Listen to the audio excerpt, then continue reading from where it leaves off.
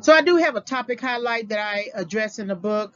Uh, one of the questions you must ask yourself, and this is this is the question I think about that this is the exception to the rule that if you have a marital partnership contract between a man and a woman or two partners and those two partners decide to uh, open the relationship to a third partner it's the partner who uh, the main core partner the wife is the one uh, who will get access to resources but there is an exception to the rule that um, if you have a child with that person or if you believe that their relationship ended when you married the person. So what if my partner is already married?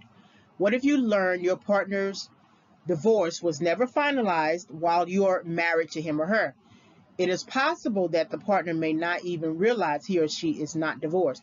This is important information to know because whoever is married to your partner has priority rights to the assets in the in the event of death and or divorce. So I do have a personal story um, I was with a partner um, between two uh, between 2013 and 2016, and I thought we were going to get married.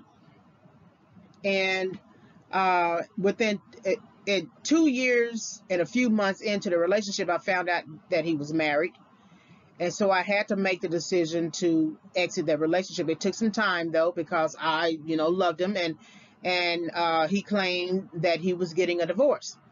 And then uh, I also found out that he he was uh, with the person. Uh, he thought he was divorced, but come to find out, she told him she never filed the paperwork or something like that.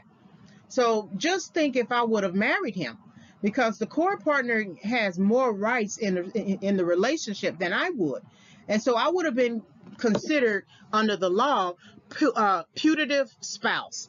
And you can check this in your own state uh, for more information.